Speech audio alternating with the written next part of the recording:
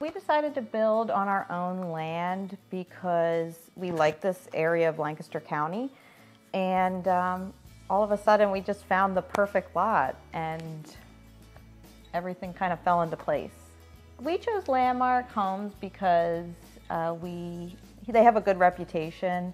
Um, kind of being in Lancaster County around all the different builders, you kind of get a feel of the different neighborhoods, and we just felt pretty confident that Landmark Homes would be a good choice. It was a super easy process. Um, we looked through all the, you know, we knew about what size we wanted, and we looked through all the floor plans and uh, picked the one and made some changes. I got the, the extended garage. Yeah.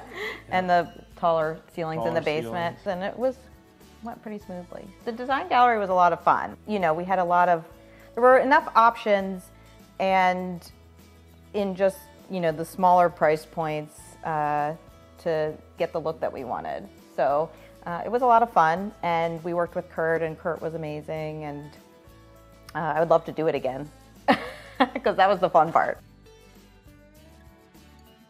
I wanted, you know, the modern farmhouse look, and I thought everybody was super helpful. Christine helped us uh, design the structure, and then Kurt helped us in the design gallery, and um, Steve helped us through the building process. He was our project manager, and he did such a great job, and it all came together. And uh, it's a little scary going through the building process at first, but we're super happy with. Pretty smooth. Yeah, it went really smooth. So. Yeah, he explained every step. He met us out here, and before they dug, he had everything staked out, showing us where the house was going to be, so we could kind of visualize it. Because there was a lot of uh, grading that had to be done to the lot to get it ready for the the building process, and um, he was easy to work with, and he was very clear with what was going to happen, and Yeah.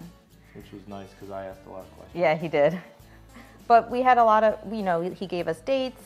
They were able to stick with those Stay on dates, stay on schedule, and it was was very impressed Yeah. by quickly it moved through the process. So I I would say everybody was knowledgeable. Uh, I mean, Christine's been doing this for a while, so uh, no issues there. And um, Kurt's been doing it for a while too, and he was uh, great in the design gallery. And I love working with Steve. My favorite part of the home is the kitchen. If you were at, you know, if you had seen our old house, it was just such an old kitchen, and uh, now I have modern appliances and the cabinets. I always wanted a white kitchen, and I just, it's so nice to have everything brand new, and uh, it's just beautiful. And I, I'm the cook, so it's nice to be in the kitchen in an open concept.